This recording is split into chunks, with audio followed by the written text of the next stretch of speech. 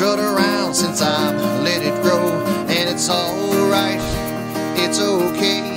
Soon this stash will go away. You have to try to understand how a bit of hair affects a man. Grow the under.